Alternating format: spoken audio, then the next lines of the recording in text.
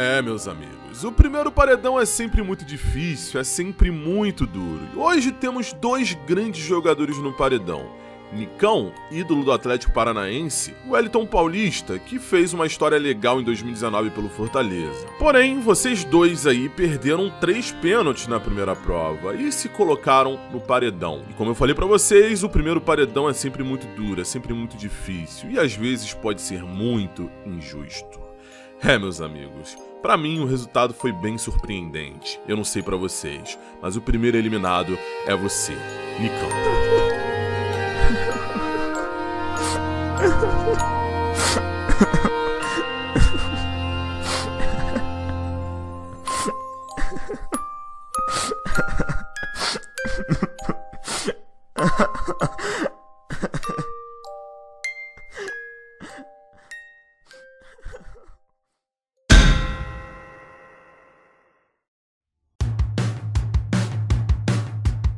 É, meus amigos, Nicão primeiro eliminado do nosso BBF. Como eu falei para vocês ali no discurso, para mim foi surpreendente, porque eu achava que o Nicão fosse ficar. Mas a galera votou pro Nicão sair. Então, Nicão do Atlético Paranaense primeiro eliminado. Hoje vamos ter uma prova bem difícil, bem dura. Por quê? Hoje os 19 participantes vão ter que defender pênaltis. E a mesma dinâmica. Os dois piores, os dois que sobrarem, vão para o paredão da segunda semana e vocês vão poder votar lá no meu Instagram, andré.luiz1993. É muito simples, vamos ter várias rodadas até sobrarem dois. Só lembrar para vocês que na primeira rodada o cobrador será o Ronaldo, segunda rodada o Romário, terceira rodada Maradona e quarta rodada Pelé. Se forem necessárias mais rodadas, a gente bota o Ronaldinho e outras lendas aí do mundo do futebol. Agora já falei demais, vamos começar o episódio, mas antes, inscreva-se no canal. É muito importante você se inscrever no canal para não perder BBF, entre outras séries, e deixa o like também, vamos botar aquela meta de 5 mil likes nessa série, hein? Conto com vocês. Vamos lá. Vamos para a primeira cobrança, lembrando que é CPU contra CPU, eu não comando o goleiro e muito menos o batedor. Lá vai Ronaldo Fenômeno! E o Mateuzinho não consegue pegar a primeira. Segundo goleiro, Diego Tardelli, será que ele vai ser o primeiro a pegar a cobrança do Ronaldo? Será? Pegou! Diego Tardelli se salva do segundo paredão, meus amigos. Que defesaça. Lá vai Gilberto. Jogador do Bahia, será que ele vai ser o segundo a pegar a cobrança do Ronaldo?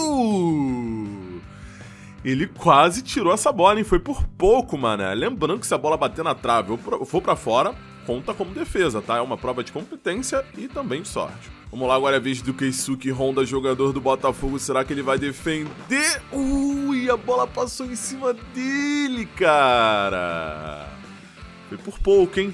Agora é a vez do Claudinho do Red Bull Bragantino, hein? Será que ele vai pegar a cobrança do Ronaldo? Olha aí! Quase, a galera tá chegando perto. Só que o Ronaldo tá batendo muito bem todas as batidas, cara. Lá vai Rafael Sobe. Será que ele vai conseguir pegar a cobrança do Ronaldo? Pegou! Uh, aí espalmou pra dentro.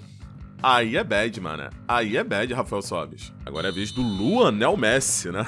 Luanzinho que quase foi pro paredão no primeiro episódio. Será que agora ele vai se livrar rápido? Se livrou.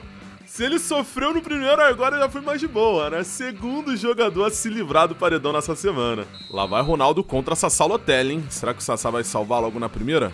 Vamos ver. Uh, o Ronaldo tá batendo muito bem, cara. Tá absurdo as cobranças dele. Lá vai ele, Gabigol. Ele que salvou na primeira fase no último episódio. Será que ele vai salvar agora?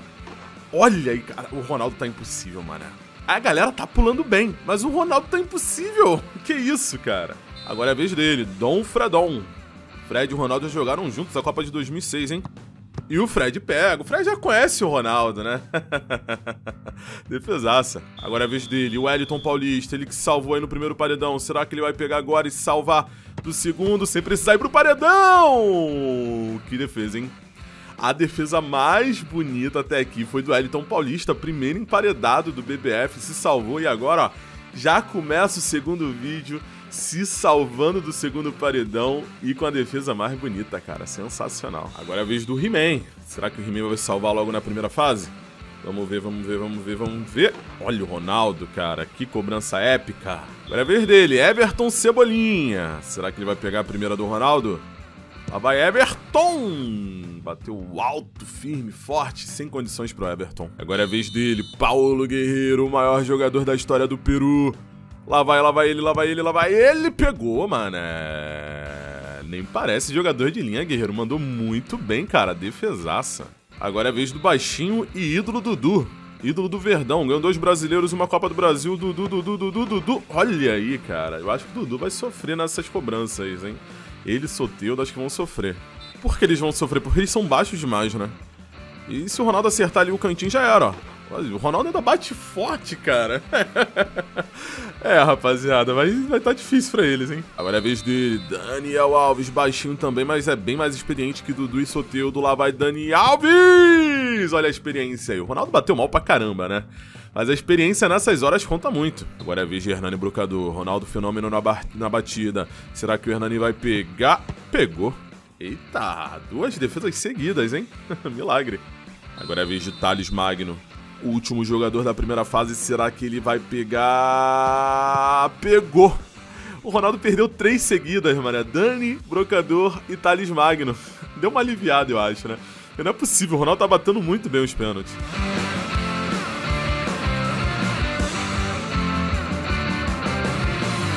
Vamos começar com o Romário, hein? Romário contra Mateuzinho do Atlético Goianiense. Mateuzinho rindo, mano. Não entendi nada. Mas o Romário faz a primeira.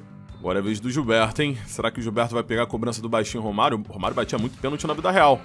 E continua batendo muito bem, né? Impressionante como o Romário bate pênalti. É a vez dele, Keisuke Honda. Lembrando que eu troquei o estádio porque aquele estádio lá tava ruim de ver, cara. Tava muito ruim de ver. Keisuke Honda, que defesaça! foi no limite, meus amigos. Agora é a vez do Claudinho do Red Bull Bragantino. Será que ele vai conseguir pegar a cobrança do Romário? Lá vai Claudinho, lá vai Claudinho, lá vai Claudinho! Defesa, hein? Que defesa. O Romário bateu um pouco mal, bateu, mas a defesa do Claudinho foi bonita. Agora é a vez dele, hein? Sobes no gol. Será que ele vai pegar a cobrança do baixinho Romário? Olha aí, o Romário agora bateu com ódio no coração, né? Que golaço, sem chances pro Sobis. Agora é vez de Sassalotelli. Será que ele vai salvar o coxa do paredão? Romário na batida. Bateu no meio, tá lá. Sem chances pro Sassalotelli que vai pra terceira rodada. Agora é vez de Gabigol. Será que o Gabigol vai parar o Romário? E se salvar do paredão pela segunda vez? Não. Hum, o Romário começou a bater bem os pênaltis, hein? Vai ficar complicado pra rapaziada. Gabigol vai pra terceira fase. Agora é a vez do Rafael Moura. Se ele acertar o canto, ele pega, porque ele é muito grande, né? Só que o Romário bate muito bem. Só que aí, ó, falei, ó. Seu Rafael, ah, que experiência pura, meus amigos. Rafael Moura faz uma grande defesa e se salva do paredão. Lá vai ele, Everton Cebolinha. Se pegar, se salva, hein? Mas aí o Romário é sinistro, né? Meu Deus do céu, olha só com o pênalti que o Romário bate, né? Olha, ver do Dudu, ele é baixinho, vai pegar um baixinho que é o Romário, né? Só que o Romário bate muito pênalti, o Dudu não defende muito bem. e tá lá, mano. O Mário é sinistro, mano. Ele bate muito bem, velho. Agora a vez dele, Soteudo, mais baixinho que o Dudu, mano. Será que ele vai pegar? Será? Olha aí, o Romário ajudou ele. Só assim pro Soteudo se salvar nessa prova, coitado.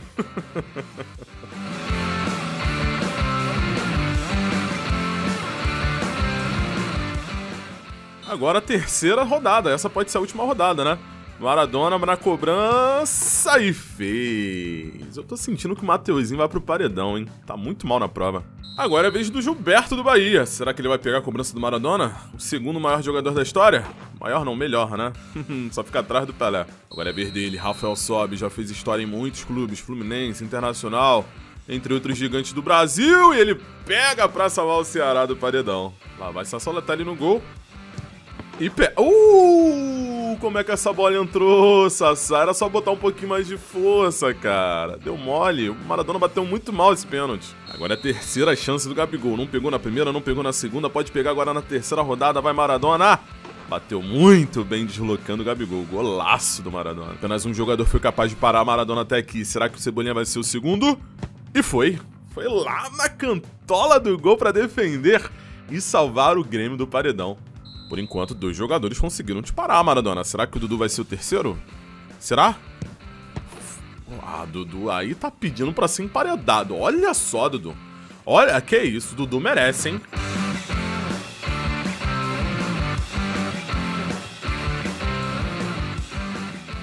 Vamos pra quarta e essa daqui pode ser a última rodada, né?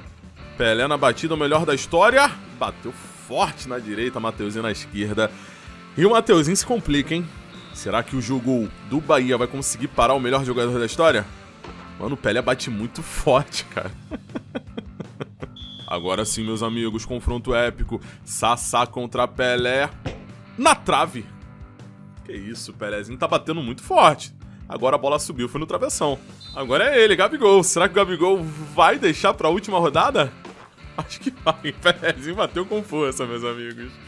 É, Gabigol, vai pra última rodada, hein? Quinta rodada já tá garantida. Vamos ver se o Dudu vai participar dessa quinta rodada, né?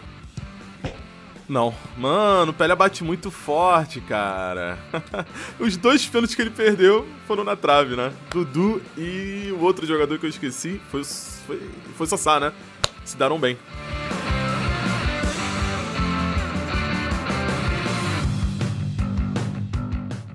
Agora, última rodada. Quem vai bater é ele? Ronaldinho, Mateuzinho, Gabigol e Gilgol. O Mateuzinho quase pega. Agora é o seguinte. Se Gabigol ou Gilberto, um dos dois, guardarem, o Mateuzinho já vai estar no paredão. Então o Mateuzinho vai ter que torcer muito contra Gilberto e também contra o Gabigol. Agora é a vez do Gilberto. Será que ele vai pegar e salvar o Bahia do paredão? Olha aí, cara! Os dois praticamente replay, tá ligado? Agora é simples. Gabigol precisa pegar para salvar do paredão, jogar Gilberto e Mateuzinho. E bateu no... Aí também tu facilita... Ô, Ronaldinho. Ô, Ronaldinho facilitou demais pro Gabigol, cara. Isso foi ridículo, mano. Mas é isso, rapaziada. Temos dois grandes jogadores com dois grandes clubes no paredão: Atlético Goianiense e Bahia. E aí, quem você quer eliminar do BBF? Lembrando que para votar é muito simples, basta me seguir no Instagram andré.luiz1993, ir nos meus stories e votar para eliminar. Não é para ficar, é para eliminar, pelo amor de Deus. Muita gente fez essa mesma pergunta no último episódio e eu deixei bem claro no último episódio, estou deixando bem claro nesse episódio aqui. É para eliminar e não para ficar. Fechou? Espero que vocês tenham curtido. Beijo do gordo, vejo você no próximo episódio. Tamo junto. Fui.